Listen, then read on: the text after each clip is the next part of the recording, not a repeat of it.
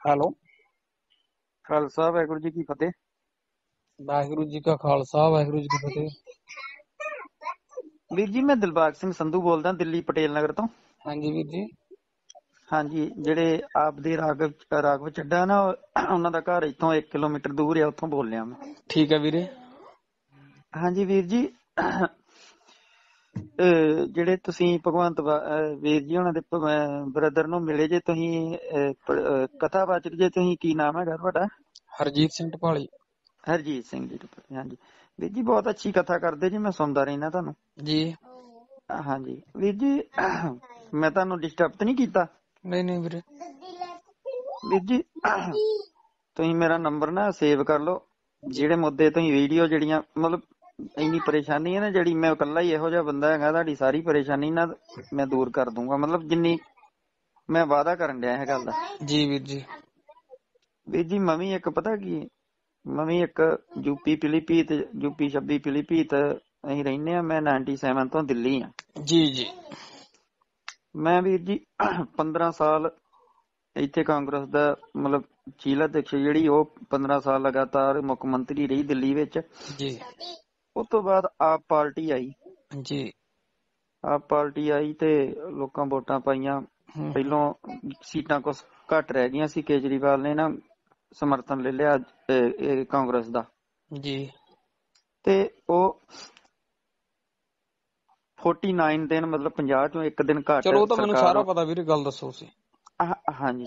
ਤੇ ਉਸ ਤੋਂ ਬਾਅਦ ਦੇ ਵਿੱਚ ਵੇਖੋ ਜੋ ਮੈਂ ਦਿੱਲੀ ਦੇ ਵਿੱਚ ਵੀਰ ਜੀ ਵੇਖਿਆ ਮੈਂ ਬਾਣੀ ਪੜਦਾ ਵੇਖੋ ਮੈਂ ਹੀ ਗੁਰੂ ਮਹਾਰਾਜ ਦਾ ਸੰਥਾ ਕੀਤੀ ਹੋਈ ਹੈ ਤੇ ਬਹੁਤ ਮੈਨੂੰ ਚਾਹ ਹੁੰਦਾ ਹੈ ਗੁਰੂ ਗ੍ਰੰਥ ਸਾਹਿਬ ਦੀ ਤਾਬੇ ਬਹਿ ਕੇ ਮੈਂ ਸਹਿਜ ਪਾਠ ਕਰਦਾ। ਤੇ ਵੀਰ ਜੀ ਇੱਕ ਸੱਚਾਈ ਜਿਹੜੀ ਹੈਗੀ ਆ ਸੱਚਾਈ ਦਾ ਕਰਕੇ ਨਾ ਮੈਂ ਫ੍ਰੀ ਅਸੀਂ ਸਾਰਾ ਕੰਪਿਊਟਰ ਤੇ ਇਹਨਾਂ ਦਾ ਕੰਮ ਨਾ ਮੈਂ ਫ੍ਰੀ ਕਰਦਾ ਇਲੈਕਸ਼ਨ ਜਦੋਂ ਹੁੰਦਾ ਹੁਣ ਵੀ ਵੇਖੋ ਤੇ ਮੈਂ ਵੇਖ ਰਿਹਾ ਕਾਫੀ ਜਦੋਂ ਫ੍ਰੀ ਹੋਈਦਾ ਤੇ ਮੈਂ ਵੇਖਣਾ ਫੇਸਬੁੱਕ ਤੇ। ਤੇ ਵੀਰ ਜੀ ਵੇਖੋ ਕੋਈ ਵੀ ਜਾਂ ਮੈਂ ਕਹਿੰਦਾ ਕੋਈ ਸੱਤ ਬਗਾਨਾ ਵੀ ਹੋਵੇ ਤਾਂ ਵੀ ਜੇਲ੍ਹ ਵਿੱਚ ਨਾ ਤਾਂ ਵੀ ਬੰਦਾ ਸੋਚਦਾ ਕਿ ਕੇਜਰੀਵਾਲ ਇੱਕ ਇਹੋ ਜਿਹਾ ਬੰਦਾ ਨਾ ਜਿਹਦੀ ਮੈਂ ਗਾਰੰਟੀ ਲੈਣਾ ਇੱਕ ਇਹੋ ਜਿਹਾ ਬੰਦਾ ਤੇ ਮੈਂ ਇੱਕ ਤੁਹਾਨੂੰ ਸੱਚਾਈ ਦੱਸਣ ਲੱਗਾ ਪੰਜਾਬ ਦੇ ਲੋਕ ਇਹ ਮਤਲਬ ਕੁਝ ਲੋਕ ਨੇ ਕੁਛ ਨੂੰ ਪਤਾ ਤੁਹਾਨੂੰ ਪਤਾ ਹੋਊਗਾ ਕਿੰਨਾ ਚੰਗਾ ਕਿੰਨਾ ਮਾੜਾ। ਇੱਕ ਬੰਦਾ ਵੇਖੋ ਪਤਾ ਕੀ? ਵੀਰ ਜੀ 97 ਤੋਂ ਮੈਂ ਦਿੱਲੀ ਚ ਆਂ। ਵੀਰੇ ਮੈਂ ਅੱਜ ਤੱਕ ਸਿੱਧਾ ਟੂ ਦਾ ਪੁਆਇੰਟ ਗੱਲ ਕਰੋ ਮੇਰੇ ਨਾਲ। ਹਾਂਜੀ ਵੀਰ ਜੀ ਇੱਥੇ ਨਾ ਮੈਂ ਅੱਜ ਤੱਕ ਨਹੀਂ ਵੇਖਿਆ ਕੇਜਰੀਵਾਲ ਨੇ ਮੁੱਖ ਮੰਤਰੀ ਬਣਦਿਆਂ ਸਾਰੀ ਇੱਥੇ ਨਾ ਪੋਸਟਰ ਲੱਗ ਗਏ ਸੀ 84 ਦੇ ਦੰਗੇ ਪੀੜਤ ਜਿਹੜੇ ਸਿੱਖ ਪਰਿਵਾਰ ਹੀ ਉਹਨਾਂ ਦੇ ਵਾਸਤੇ। ਤੇ ਉਹਨੇ ਹਾਂ ਦਾ ਨਾਰਾ ਮਾਰਿਆ ਵੀ ਇਹਨਾਂ ਨੂੰ ਇਨਸਾਫ ਮਿਲਣਾ ਚਾਹੀਦਾ। ਵੀਰ ਜੀ ਅੱਜ ਵੀ ਤੁਸੀਂ ਮੈਂ ਤੁਹਾਨੂੰ ਪ੍ਰੂਫ ਦੇ ਸਕਦਾ ਉਹਨਾਂ ਘਰਾਂ ਉਹ ਵਿੱਚ ਸਾਰਾ ਜਾ ਕੁਝ ਕੇ ਦੋ- ਕੀਤਾ ਵੀਰੇ ਸਾਰਾ ਕੁਝ ਕੀਤਾ। ਮੈਂ ਤਾਂ ਅੱਜ ਦੀ ਗੱਲ ਕਰੋ ਨਾ ਅੱਜ ਦੀ ਗੱਲ। ਜਦੋਂ ਬਾਦਲ ਦੀ ਸਰਕਾਰ ਪਹਿਲੀ ਵਾਰੀ ਬਣੀ ਸੀ ਲੋਕ ਦੱਸਦੇ ਆ ਵੀ ਉਹਨੇ ਜੁੱਤੀਆਂ ਬਦਲੇ ਖੰਡ ਦੇਤੀ ਸੀਗੀ। ਟੁੱਟੇ। ਛਿੱਤਰਾਂ ਬਾਦਲ ਦੀ ਜਦੋਂ ਸਰਕਾਰ ਪਹਿਲੀ ਵਾਰੀ ਬਣੀ ਸੀ ਟੁੱਟੇ ਛਿੱਤਰਾਂ ਬਦਲੇ ਖੰਡ ਦਿੱਤੀ ਸੀ ਬਾਦਲ ਨੇ। ਅੱਛਾ ਤੇ ਵੀਰ ਜੀ ਗੱਲ ਇੱਕ ਮਿੰਟ ਨਾ। ਗੱਲ ਗੱਲ ਸੁਣੋ ਬਾਦਲ ਦੀ ਜਦੋਂ ਸਰਕਾਰ ਬਣੀ ਸੀ ਫੋਕਲ। ਪੁਆਇੰਟਾਂ ਪੂਰੇ ਭਾਰਤ 'ਚ ਪਹਿਲੀ ਵਾਰੀ ਬਾਦਲ ਨੇ ਬਣਾਈਆਂ ਸੀ। ਅੱਛਾ। ਮੋਟਰਾਂ ਦੇ ਬਿੱਲ ਪਹਿਲੀ ਵਾਰੀ ਬਾਦਲ ਨੇ ਮਾਫ ਕਰੇ ਸੀ। ਆਟਾ ਦਾਲ ਇੱਕ ਮਿੰਟ ਆਟਾ ਦਾਲ ਸਕੀਮ ਬਾਦਲ ਲੈ ਕੇ ਆਏ ਸੀ। ਕੀ ਬਾਦਲ ਦੀਆਂ ਸਕੀਮਾਂ ਦੇਖ ਕੇ ਗੁਰੂ ਗ੍ਰੰਥ ਸਾਹਿਬ ਦੀ ਬੇਅਦਬੀ ਹੋਈ ਭੁੱਲ ਜਗੇ ਨਹੀਂ ਵੀਰ ਜੀ ਮੈਂ ਤਾਂ ਮੇਰੀ ਗੱਲ ਦੱਸਾਂ ਸੁਣੋ, ਕੁਝ ਵੀ ਨਹੀਂ ਭੁੱਲਣਾ ਚਾਹੀਦਾ ਕੁਝ ਵੀ ਨਹੀਂ ਇੱਕ ਮਿੰਟ, ਮੈਂ ਹੁਣ ਤੁਹਾਨੂੰ ਮੈਂ ਦੱਸਦਾ ਨਹੀਂ ਭੁੱਲਣਾ। ਹਾਂਜੀ। ਹੁਣ ਤੁਹਾਡੇ। ਤੁਹਾਡੇ ਦਿੱਲੀ 'ਚ ਕਰਿਆ ਕੇਜਰੀਵਾਲ ਨੇ ਆਹ ਕਰਿਆ ਉਹ ਕਰਿਆ ਕਰਿਆ ਹੋਊਗਾ। ਕੀ ਇਹਦੇ ਲਈ ਇੱਕ ਬੇਕਸੂਰ ਨੂੰ ਜੇਲ੍ਹ 'ਚ ਰੱਖਣ ਦਾ ਹੱਕ ਹੋ ਮਿਲ ਗਿਆ ਉਹਨੂੰ? ਵੀਰ ਜੀ ਹੁਣ ਤੁਸੀਂ ਪਤਾ ਕੀ ਜਿਹੜੀ ਮੈਂ ਜਿੱਥੇ ਬੋਲਣ ਡਿਆ ਨਾ ਮੈਂ ਇਹੋ ਜਿਹਾ ਬੰਦਾ ਨਹੀਂ ਹੈਗਾ ਕਿ ਉਹ ਤੁਸੀਂ ਮੈਨੂੰ ਤੇ ਗੱਲ ਵੀਰ ਉਹਨਾਂ ਨੂੰ ਉਹਨਾਂ ਨੂੰ ਬਸ- ਜੇਲ੍ਹ 'ਚ ਰੱਖਣ ਵਾਲਾ ਇਹੋ ਜਿਹਾ ਬੰਦਾ ਨਹੀਂ ਹੈਗਾ ਉਹ। ਉਹ ਭਰਾਵਾ ਤੁਹਾਨੂੰ ਕੀ ਪਤਾ ਜਦੋਂ ਮੈਂ ਤੁਹਾਨੂੰ ਦੱਸਣਾ ਤੁਸੀਂ ਜਿਹੜੀ ਸਤਿੰਦਰ ਜੈਨ ਨੇ ਜਿਹੜੀ ਜਿਹੜੀ ਇਹਨਾਂ ਦੇ ਉਹ ਕਰੀ ਆ ਰੱਦ 11 ਦਸੰਬਰ 2020 ਦੀ ਕੱਢ ਕੇ ਵੇਖੋ ਨਾ ਇਹ ਤਾਂ ਤੁਸੀਂ ਆਨਲਾਈਨ ਜਿਹੜੀ ਇਹਨਾਂ ਦੀ ਤੁਸੀਂ ਕਹਿੰਦੇ ਕੰਪਿਊਟਰ ਦਾ ਕੰਮ ਸਾਂਭਦੇ ਹੋ ਤੁਸੀਂ। ਹਾਂਜੀ ਵੀਰ ਉਹ ਭਰਾਵਾ ਜਿਹੜੀ ਮੈਂ ਹੁਣ ਦੀ ਗੱਲ ਕਰਦਾ ਤੁਸੀਂ ਮੈਂ 11 ਮੈਂ- ਦਸੰਬਰ 2020 ਦੀ ਜਿਹੜੀ ਇਹਨਾਂ ਦੇ ਇਹਨਾਂ ਨੇ ਰੱਦ ਕੀਤੀ ਆ ਸਤਿੰਦਰ ਜੈਨ ਨੇ ਉਹ ਕੱਢ ਕੇ ਵੇਖੋ। ਤੁਸੀਂ ਕੰਪਿਊਟਰ ਦਾ ਕੰਮ ਕਰਦੇ ਹੋ ਤਾਂ ਸਾਰਾ।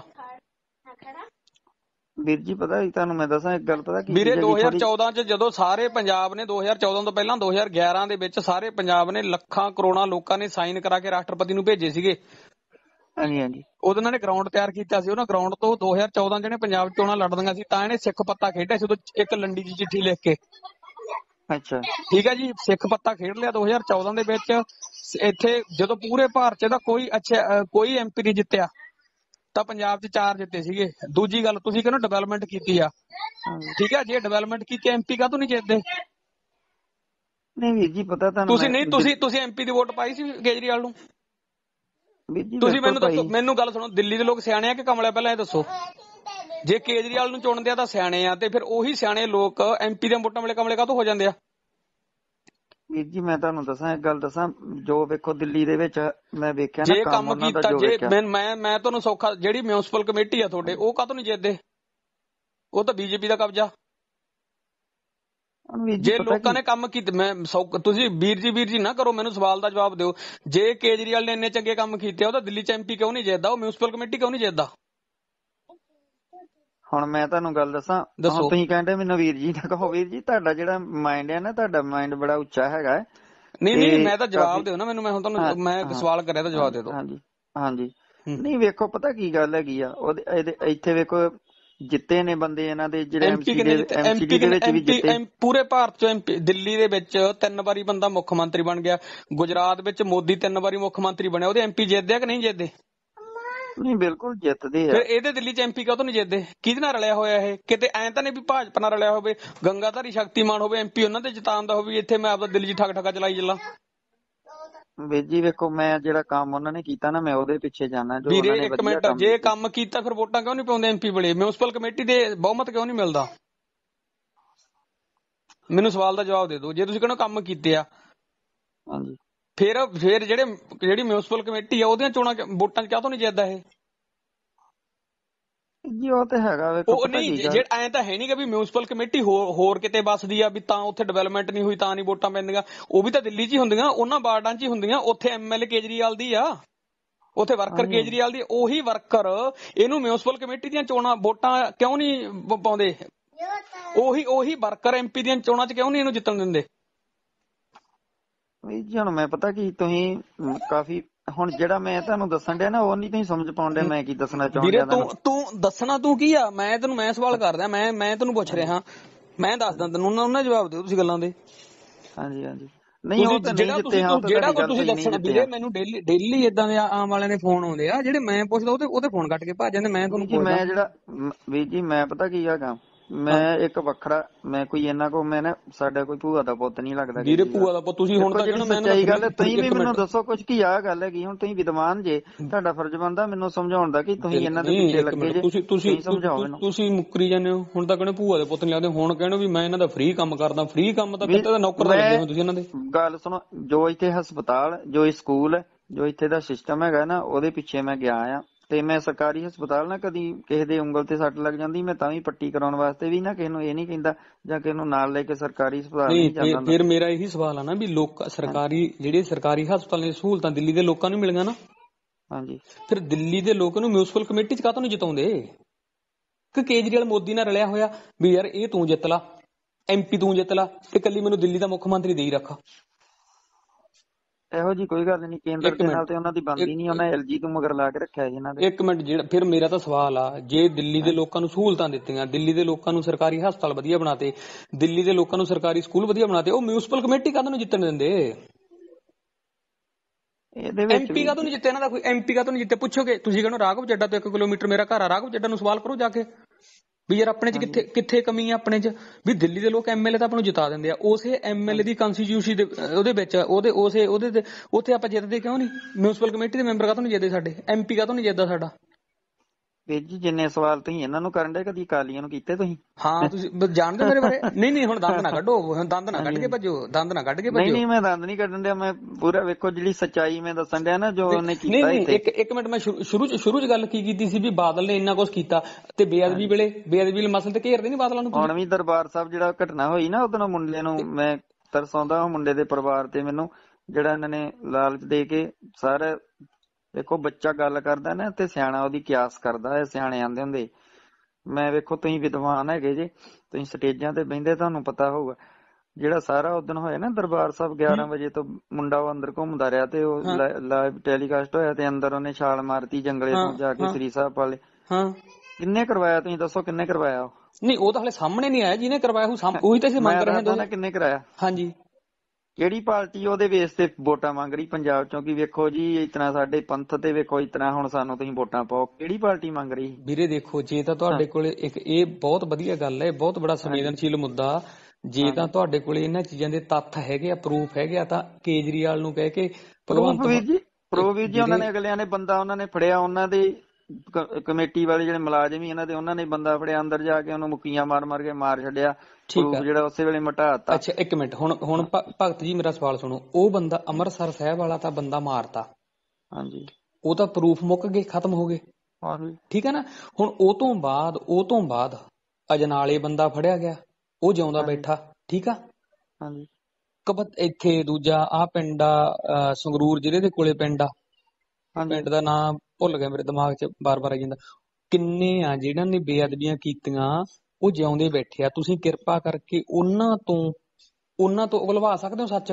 ਵੀ ਕਿਹਨੇ ਭੇਜਿਆ? ਇੱਕ ਵੀਡੀਓ ਮੈਂ ਵੇਖ ਰਿਹਾ ਉਹਦੇ ਵਿੱਚ ਉਹ ਕੋਈ ਤੁਸੀਂ ਨਾਮ ਤੁਸੀਂ ਤੁਸੀਂ ਤੁਸੀਂ ਤੁਸੀਂ ਨਾਮ ਪਹਿਲਾਂ ਮੇਰੀ ਗੱਲ ਸੁਣੋ। ਤੁਸੀਂ ਜਿਹੜੇ ਹੋ ਨਾ ਜਿਹੜੇ ਕਮੀਨੇ ਕਿਸਮ ਦੇ ਲੋਕ ਆ ਵੀਰੇ ਤੁਹਾਨੂੰ ਨਹੀਂ ਕਹਿ ਰਿਹਾ ਜਿਹੜੇ ਕਮੀਨੇ ਕਿਸਮ ਦੇ ਲੋਕ ਆ ਜਦੋਂ ਉਹਨਾਂ ਨੇ ਸਿੱਖਾਂ ਨੇ ਅੱਕਿਆਂ ਵੇ ਨੇ ਉਸ ਕਮੀਨੇ ਲੰਡਰ ਬੰਦੇ ਨੂੰ ਜਿਹਨੇ ਗੁਰੂ ਸਾਹਿਬ ਦੇ ਅੰਦਰ ਉੱਥੇ ਬੇਅਦਬੀ ਕਰਨ ਦੀ ਕੋਸ਼ਿਸ਼ ਕੀਤੀ ਉਹਨੂੰ ਜਦੋਂ ਉਹਦੀ ਕੀਤੀ ਦੀ ਸਜ਼ਾ ਦੇਤੀ ਤਾਂ ਕਹਿੰਦੇ ਹਾਏ ਸਬੂਤ ਮਟਾਤੇ ਸਬੂਤ ਨਾ ਨਾ ਮਟਾਤੇ। ਜੀ ਦੇਖੋ ਮੈਂ ਨਹੀਂ ਕਹਿੰਦਾ ਕਿ ਹੁਣ ਮਾੜਾ ਕੀਤਾ। ਤੁਸੀਂ ਤੁਸੀਂ ਵੀਰੇ ਹੁਣੇ ਕਹਿ ਕੇ ਹਟੋ ਮੁੱਕਰੋ ਨਾ ਪਹਿਲਾਂ ਮੇਰੀ ਗੱਲ ਸੁਣੋ ਨਹੀਂ ਧਿਆਨ ਮੁੱਕਰ ਨਹੀਂ ਮੈਂ ਤੁਸੀਂ- ਮੁੱਕਰ ਨਹੀਂ ਰਿਹਾ ਮੈਂ ਕਹਿੰਦਾ ਕਿ ਉਹਨੂੰ ਨਾ ਰੱਖਣਾ ਚਾਹੀਦਾ ਜਿਉਂਦਾ ਉਹਨੂੰ ਪੁੱਛਣਾ ਚਾਹੀਦਾ ਵੀ ਤੈਨੂੰ ਕੱਲਿਆ ਕਿਵੇਂ ਓਹੋ ਮੈਂ ਪਹਿਲਾਂ ਮੇਰੀ ਗੱਲ ਤਾਂ ਸੁਣ ਲਓ ਉਹ ਤਾਂ ਚਲੋ ਮਾਰਤਾ ਹੋਰ ਬਥੇਰੇ ਕਮੀਨੇ ਜਿਉਂਦੇ ਬੈਠਿਆ ਤੁਸੀਂ ਸਰਕਾਰਾਂ ਤੋਂ ਤੁਸੀਂ ਪ੍ਰਸ਼ਾਸਨ ਤੋਂ ਤੁਸੀਂ ਹਰੇਕ ਵਾਰੀ ਜਿਹੜੇ ਕਮੀਨੇ ਕੁੱਤੇ ਲੋਕ ਆ ਸਿੱਖਾਂ ਨੂੰ ਕਟਹਿਰੇ 'ਚ ਖੜਾ ਕਰਦੇ ਆ ਉਹਨਾਂ ਕੁੱਤਿਆਂ ਨੂੰ ਮੈਂ ਕਹਿਣਾ ਚਾਹਣਾ ਵੀ ਤੁਹਾਡੇ ਜਿਹੜੇ ਫੁੱਫੜ ਆ ਗਏ ਜਿਨ੍ਹਾਂ ਨੇ ਬੇਅਦਬੀਆਂ ਕੀਤੀਆਂ ਕਿੰਨੇ ਜਿਉਂਦੇ ਬੈਠੇ ਆ ਉਹਨਾਂ ਨੂੰ ਇੱਥੋਂ ਦੇ ਸਿਸਟਮ ਨੇ ਮੈਂਟਲੀ ਅਪਸੈਟ ਕਹਿ ਕੇ ਉਹਨਾਂ ਨੂੰ ਕਾਨੂੰਨੀ ਤੌਰ ਤੇ ਉਹਨਾਂ ਨੂੰ ਮੈਂਟਲੀ ਅਪਸੈਟ ਕਹਿ ਕੇ ਵੀ ਇਹ ਮਾਨਸਿਕ ਰੋਗੀ ਆ। ਉਹਨਾਂ ਨੂੰ ਛੱਡਤਾ। ਨਾਬੇ ਕੋਲੇ ਇੱਕੋ ਬਿਲਕੁਲ, ਪੁਲਿਸ ਵਾਲੇ ਪਹਿਲਾਂ ਹੀ ਕਹਿ ਦਿੰਦੇ ਆ ਨਾ, ਮਾਨਸਿਕ ਰੋਗੀ ਆ। ਤੁਸੀਂ ਹੁਣ ਹੁਣ ਹੁਣ ਹੁਣ ਤੁਸੀਂ ਆਦੀ ਗੱਲ ਤੇ ਰਹੋ ਨਾ। ਹੁਣ ਤਾਂ ਤੁਸੀਂ। ਕਹਿੰਦੇ ਸੀ ਸਬੂਤ ਮਟਾਤਾ ਇੱਕ ਬੰਦਾ ਮਰ ਗਿਆ ਤਾਂ ਸਬੂਤ ਮੁੱਕ ਗਿਆ। ਬਾਕੀ ਜਿਉਂਦੇ ਬੈਠੇ ਆ ਫਿਰ ਤਾਂ ਕੜੀਆਂ ਸਾਰਿਆਂ ਨੇ ਜੁੜ ਜਾਣਗੀਆਂ ਨਾ। ਜੇ ਨਿਹੰਗ ਮੇਰੀ ਗੱਲ ਸੁਣੋ ਜੇ ਨਿਹੰਗ ਸਿੰਘਾਂ ਨੇ ਦਿੱਲੀ ਇਸੇ ਗੱਲ ਤੇ ਜਦੋਂ ਅੰਮ੍ਰਿਤਸਰ ਸਾਹਿਬ ਘਟਨਾ ਹੋਈ ਸੀ ਤੁਹਾਡਾ ਇਹ ਜਰਨੈਲ ਸਿੰਘ ਦਿੱਲੀ ਦਾ ਜਿਹੜਾ ਇੱਥੇ ਇੱਥੇ ਆਇਆ ਹੋਏਗਾ ਇੰਚਾਰਜ ਸਹਿ ਇੰਚਾਰਜ ਬਣ ਕੇ ਉਹ ਇੰਚਾਰਜ ਆ। ਦਿੱਲੀ ਵਾਲਾ। ਦਿੱਲੀ ਵਾਲਾ ਉਹ ਲਾਈਵ ਹੋਇਆ ਸੀ ਲਾਈਵ ਹੋਣ ਤੋਂ ਬਾਅਦ ਉਹ ਥੁੱਕ ਕੇ ਚੱਕ ਉਹਨਾਂ ਨੇ ਗਿਆ। ਬੋਲਿਆ ਸੀ ਉਹਨਾਂ ਨੇ ਬੋਲਿਆ ਕਿ ਇਤਨਾ ਮਤਲਬ ਵੀ ਜਿਉਂਦਾ ਰੱਖਣਾ ਚਾਹੀਦਾ ਡਿਲੀਟ ਡਿਲੀਟ ਕਾਹਤੋਂ ਕਰ ਗਿਆ? ਉਹ ਡਿਲੀਟ ਕਾਹਤੋਂ ਕਰ ਗਿਆ ਉਹਦੀ ਤੁਸੀਂ ਦਿੱਲੀ 'ਚ ਰਹਿਣ ਵਾਲੇ ਹੋ ਉਹਨੂੰ ਮੇਰਾ ਸੁਨੇਹਾ ਦਿਓ ਮੈਂ ਤਿੰਨ ਫੋਨ ਲਾਏ ਉਹਦਾ ਨੰਬਰ ਮੇਰੇ ਕੋਲ ਹੈਗਾ। ਉਹਨੇ ਫੋਨ ਨਹੀਂ ਚੱਕਿਆ ਉਹਦਾ ਪੀਏ ਕਹਿੰਦਾ ਮੈਂ ਗੱਲ ਕਰਾਉਣਾ। ਠੀਕ ਆ। ਫੋਨ ਕੱਟ ਕੇ ਭੱਜ ਗਿਆ। ਠੀਕ ਆ ਤੁਸੀਂ ਕਹਿੰਦੇ ਹੋ ਵੀ ਸਬੂਤ। ਤੁਸੀਂ ਰਾਘਵ ਚੱਡੇ ਦੇ ਨੇੜੇ ਰਹਿੰਦੇ ਹੋ। ਤੁਸੀਂ ਰਾਘਵ ਚੱਡੇ ਨੂੰ ਕਿਹੋ ਕਦੇ ਪ੍ਰੈਸ ਕਾਨਫਰੰਸ ਕਰੇ? ਅੱਜ ਤੋਂ 72 ਘੰਟੇ ਪਹਿਲਾਂ ਰਾਘਵ ਚੱਡੇ ਨੇ ਕਿਹਾ ਸੀਗਾ ਕਿ ਪ੍ਰੋਫੈਸਰ ਭੁੱਲਰ ਵਾਲੇ ਮਸਲੇ ਤੇ ਅਸੀਂ ਵੱਖਰੀ ਪ੍ਰੈਸ ਕਾਨਫਰੰਸ ਕਰਕੇ ਸਪਸ਼ਟੀਕਰਨ ਦੇਵਾਂਗੇ। ਰਾਘਵ ਚੱਡੇ ਦਾ ਤੰਦੂਆ ਨਹੀਂ ਖੁੱਲਿਆ ਅਜੇ ਤੱਕ। ਰਾਘਵ ਨਹੀਂ ਚੱਡੇ ਨੇ ਇੱਕ ਮਿੰਟ। ਵੀਰ ਜੀ ਬੋਲ ਰਿਹਾ ਸੀ ਮੈਂ ਸੁਣਿਆ ਉਹਨਾਂ ਨੂੰ ਨਹੀਂ ਨਹੀਂ ਕੀ ਸੁਣਿਆ? ਕੀ ਦੱਸਿਆ? ਕੀ ਦੱਸਿਆ ਉਹਨਾਂ ਨੇ? ਦੱਸੋ। ਕਹਿੰਦੇ? ਸਾਡੇ ਕੋਲ ਫਾਈਲ ਆਊਗੀ ਅਸੀਂ ਉਸੇ ਵੇਲੇ ਸਾਈਨ ਕਰ ਨਹੀਂ ਕਰ ਨਹੀਂ ਦਾਂਗੇ। ਅੱਛਾ ਜਿੱਦੇ ਉਹਨੂੰ ਮੁੱਖ ਮੰਤਰੀ ਦਾ ਚਿਹਰਾ ਡਿਕਲੇਅਰ ਕਰਿਆ ਸੀ ਉਦੋਂ ਦਾ ਭਗਵੰਤ ਮਾਨ ਕਹਿੰਦਾ ਸੀ ਫਾਈਲ ਐਲਜੀ ਕੋਲੇ ਪਈ ਆ।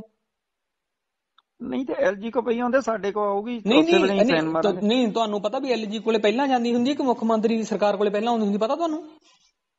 ਹਾਂਜੀ। ਐਲਜੀ ਕੋਲੇ ਪਹਿਲਾਂ ਜਾਂਦੀ ਨਹੀਂ ਉਹਨਾਂ ਨੇ ਕਿਹਾ ਐਲਜੀ ਕੋ ਉਹਨਾਂ ਨੇ ਕਿਹਾ ਨਹੀਂ ਉਹ- ਦਿੱਲੀ ਦੇ ਐਮਐਲਏ ਆ ਉਹ ਦਿੱਲੀ ਦੇ ਮੁੱਖ ਮੰਤਰੀ ਆ ਉਹ ਦਿੱਲੀ ਦੇ ਕੈਬਨਿਟ ਮੰਤਰੀ ਆ ਉਹਨਾਂ ਨੂੰ ਕੀ ਪਤਾ? ਹਾਂਜੀ ਹਾਂਜੀ। ਨਹੀਂ, ਹਾਂਜੀ ਹਾਂਜੀ, ਨਾ, ਅਸਲ ਦੇ ਵਿੱਚ ਪਤਾ ਕੀ ਹੈ ਵੀਰੇ?